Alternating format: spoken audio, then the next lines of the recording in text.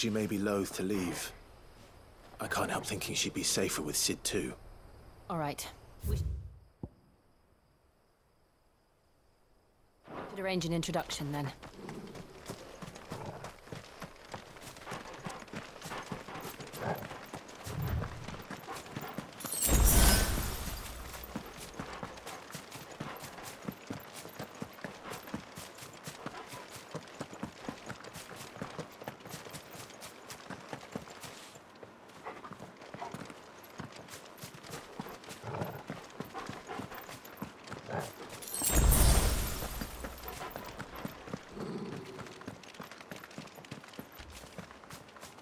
Torgal, what is it? Nothing good, I'll wager. Come on.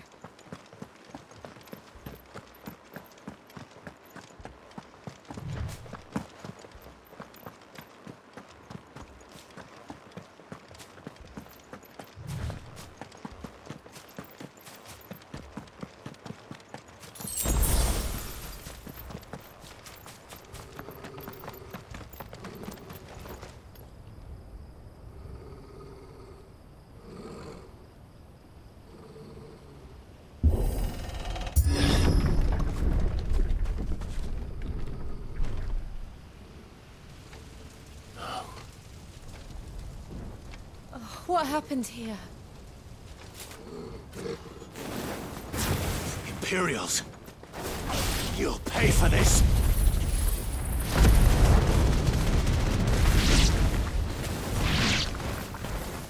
Remember our orders? No survivors! Who would order such a thing? Keep your distance, boy. You know what to do. Sick of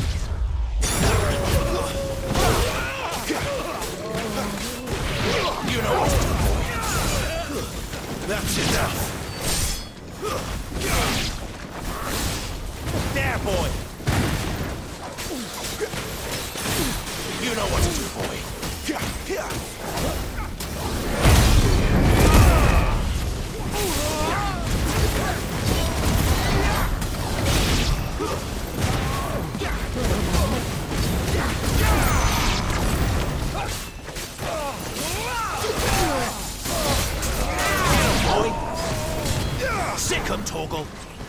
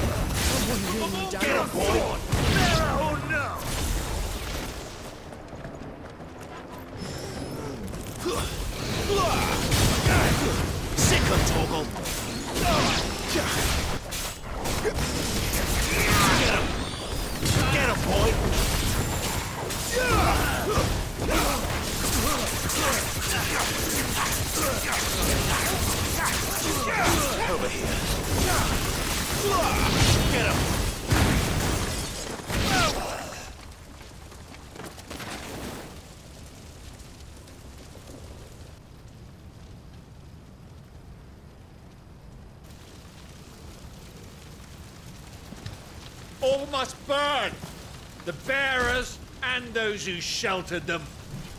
By Empress Annabella's command,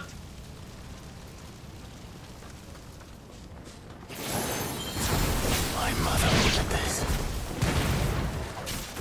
Why? Clive. I know. You can wait. Don't let them get away.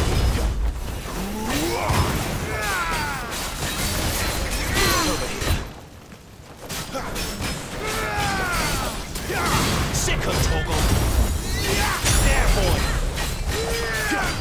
Over here.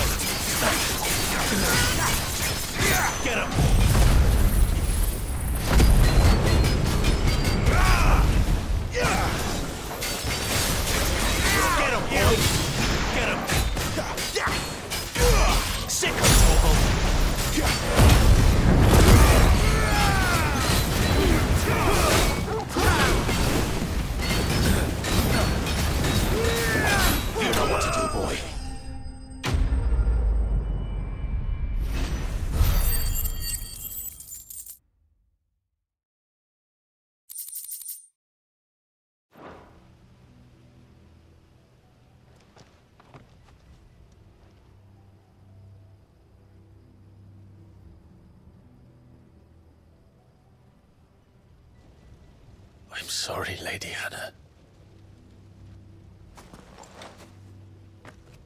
You deserved so much better.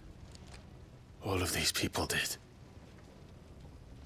Better than my mother.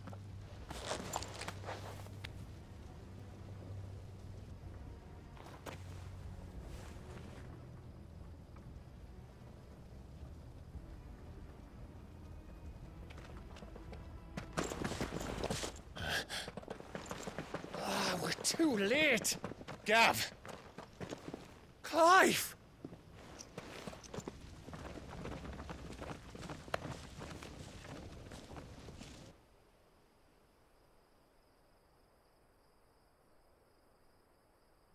Acting on the orders of the Duchess, eh?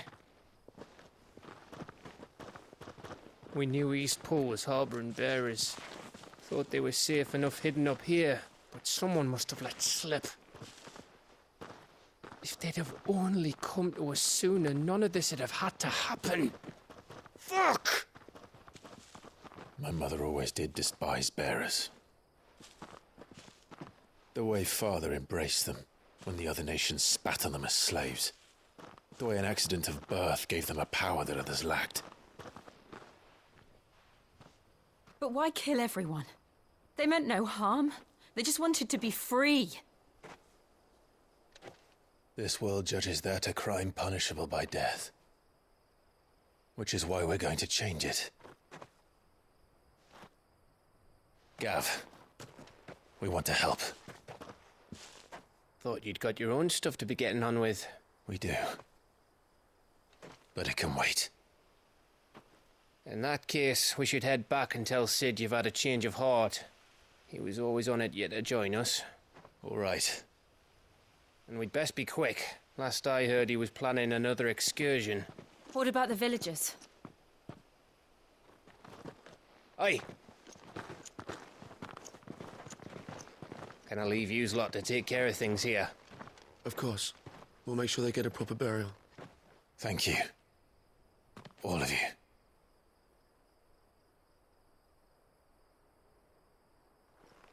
When you're ready, then.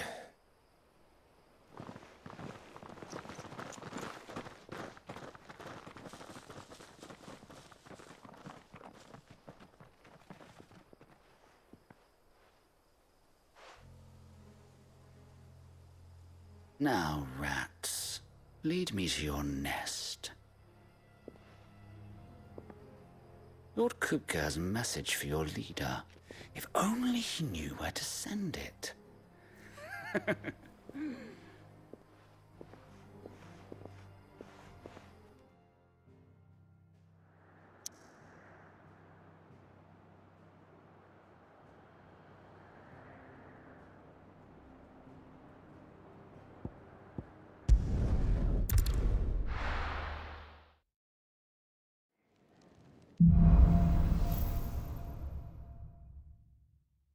To Cid Solar, then.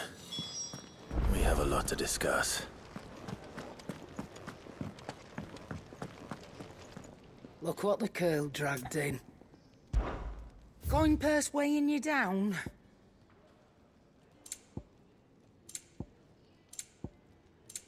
Come again. Or don't. I'm not much bothered either way. Can't you see I'm busy here? So, what'll it be?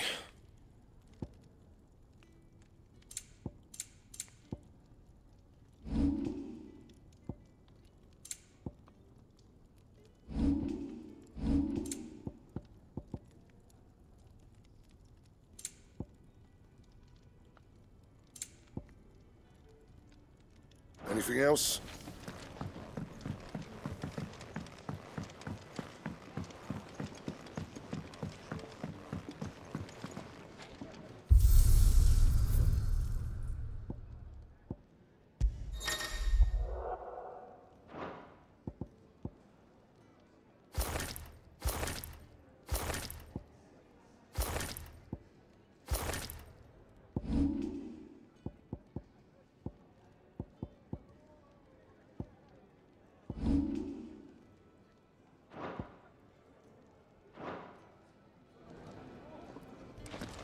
Heard Otto barking at his lot earlier. Didn't sound happy. What do you suppose it could be?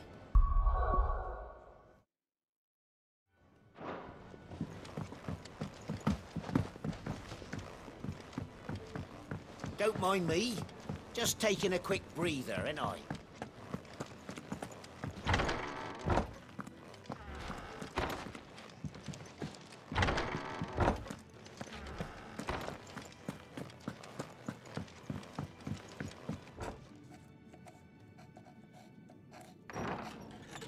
This place is getting more crowded by the day. I tell myself the bustle's a blessing. There'll be time enough for quiet contemplation when I'm dead. So, did you find the answers you were looking for? I still don't know what to make of this gift, curse, or whatever it is I've been given. But there is one thing I can say for certain. I am a dominant. Ifrit. And there is nothing I can do to change that. It is a burden I must bear until my dying day. Spoken true. Forgiveness and in turn salvation can only begin with acceptance. It's a path we all must walk, no matter how colourful our histories. Cid, you once told me that you wanted to build a place where people could die on their own terms. I did. I've been thinking about that. Why not a place where people can live on their own terms? For 13 years, killing was all I knew. So obsessed with death that I never stopped to consider the lives of those around me. Lives that I see now were scarcely worth living. Be they bearers or beggars, most but march blindly to their end, never realizing that they too deserve a choice. And I dare not turn a blind eye to their suffering any longer. So, atonement then, is it? That was the answer we found. The only one we need. I'll be expecting you both to pull your weight. And we will. Well then, With a sprinkle of fire and ice, this plan of mine might just work.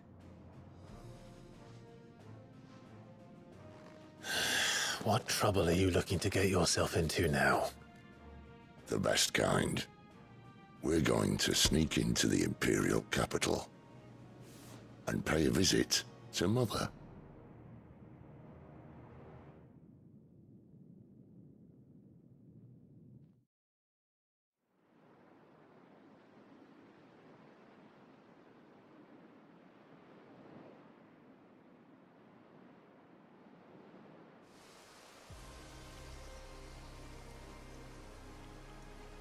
And the last of our farmholds in the eastern provinces has succumbed to the blight. Without their yield, we will be hard-pressed to fill the capital's granaries before winter. If there is a capital by then, the Blight creeps closer as we speak. And yet you do naught but bawl and bluster.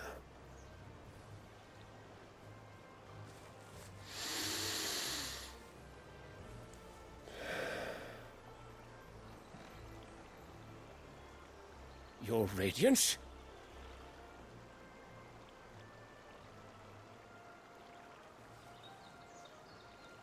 If it is fertile land the Empire requires, we need but look south. Uh, if you mean the crystalline Dominion's holdings, we are bound by mutual accord. Theirs is a neutral state whose borders we are sworn to respect. Gentlemen, did we swear to see our people starve? Well, I really do think that. Uh, Ah, well, I, I, I don't think. Well, I- what? The gates of Oriflamme buckle at the flood of those come seeking refuge from the Blight. If there is not grain enough to feed those within our walls, how, pray tell, will we feed those without? But instead of setting your minds to riddles such as these, you lock horns with an enemy from across the sea, sending our soldiers to the slaughter in their thousands. The Empire bleeds, and you sit here prattling like crones in a tea house. And you fancy yourselves leaders of men. Of course. Oh, uh, you're right. Sanbreque is naught without her citizens. We are but their servants. If their land is being wrested away, it is our duty to claim new lands for them. Your Radiance! You cannot mean a war of conquest. That is exactly what I mean. It is time we expanded our dominion. This is the will of great Greagor.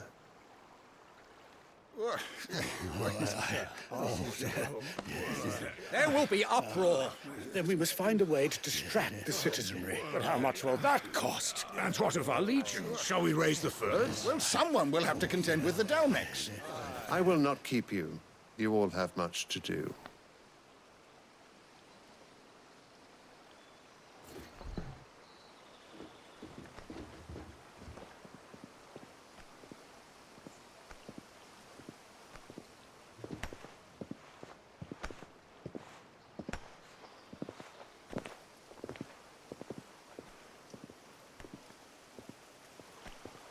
Where is my son? The Lord Prince is currently garrisoned at the Strait of Arthur. If it please you, I can send word requesting his immediate return to the Holy Capital. That won't be necessary. Tell him instead to see to his wounds. Bahamut's strength will be needed again soon. As you command.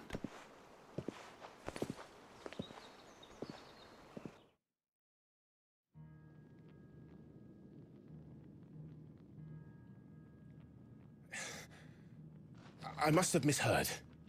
You mean to tell me that the mother crystals are the reason the world is dying? Are you mad? I have been called that on occasion, but no, not today. We've all seen it firsthand. Empty wastes where once were green meadows. Land drained so dry of its ether, not even the rats remained. But where was it all going? I spent years searching for an answer until I saw it standing right in front of me. There, in the self-same crystals we look to for their so-called blessing.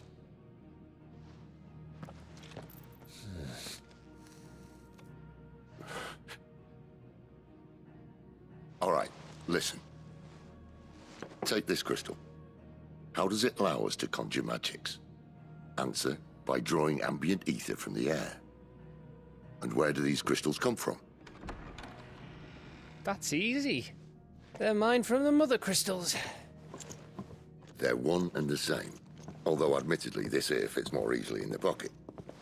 But the mother crystals are massive. Some as large as mountains. So you see the problem. Imagine just how much ether can be drawn by something that size. As to where it's all going, mind, well, I can't know everything, can I? We are taught that the mother crystals are divine. Their ether a gift from the heavens. For centuries, nations have fought and fallen for want of that gift. If what you say is true, how did no one else see it? Who says they didn't? Maybe the truth was inconvenient. Inconvenient to whom, exactly?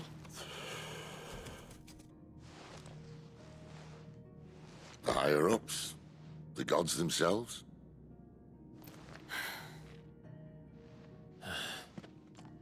So now you want to do something about the crystals. And what? We're not helping bearers and dominants anymore. I didn't say that. I made a promise and I intend to keep it. But if we continue down this path, there's only one fate that awaits the realm. And we can't very well set our people free if they're all lying dead in a blighted ditch. Not if we want to create a place where they can live on their own terms anyway. Sort of defeats the purpose. So, if we have to bring the old world crashing down in order to build us a new one,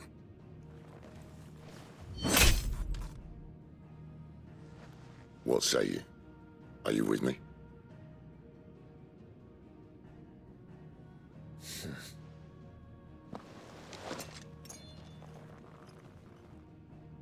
I suppose it's about time I repaid your faith.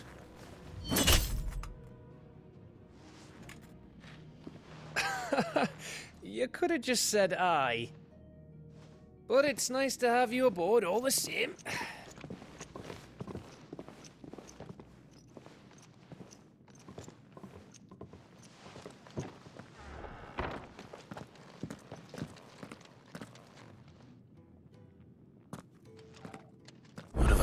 Myself into? I'm going to need more than a few potions for this.